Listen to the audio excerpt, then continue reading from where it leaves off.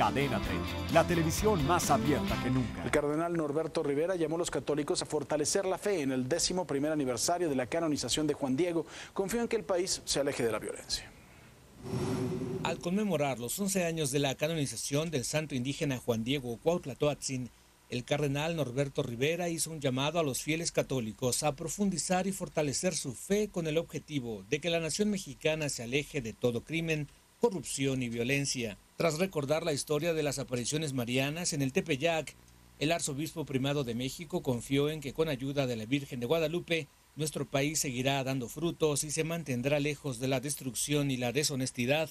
Ayúdanos a depositar toda nuestra confianza en Dios por medio de nuestra Madre Santa María de Guadalupe, para que este pueblo, nuestro pueblo amado, siga desarrollando lo bueno que está en su corazón y en su alma, y se aleje de todo mal, de todo crimen y corrupción, de toda injusticia y violencia.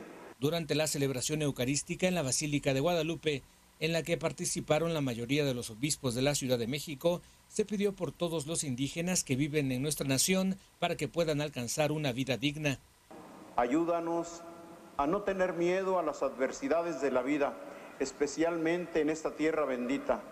Ayúdanos a entender que es precisamente en las dificultades en donde se nos da la gran oportunidad para profundizar, para fortalecer, para crecer en nuestra fe.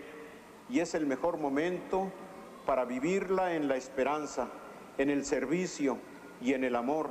Fue en julio de 2002 cuando el Papa Juan Pablo II, en su última visita a nuestro país, elevó a los altares a Juan Diego en la Basílica de Guadalupe durante una ceremonia en la que abundaron los símbolos indígenas. Con información de Juan Pablo Reyes, Grupo Imagen Multimedia. Suscríbete a nuestro canal de YouTube para que siempre estés informado de las últimas noticias de México y el mundo.